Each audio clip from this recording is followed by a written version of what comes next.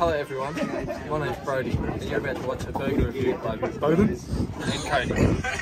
Hello guys, we just stopped in Nhill and we got the, the famous duck burger. So as, as you can see we've got duck, coleslaw, onion. So um, this is our first review, so let's go.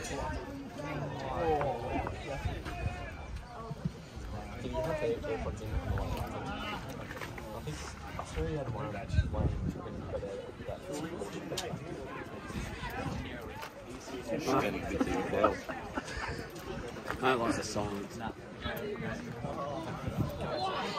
The bread's not too bad, bit soft, it's alright. The duck's a bit dry.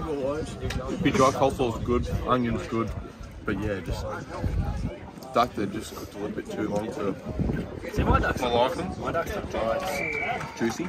Mine's juicy. It's not really tasty. But yeah, so this was a bit It's like just a bit bland. You go from saying not bland. The middle of the middle of it's actually pretty pretty juicy. So seven dollars, bit steep. So my overall review would probably be a six point five. About you, Ben? What's your review? Out of 10, a 6. Nah, give it a 7. So um, stay tuned because burger reviews gonna keep on coming.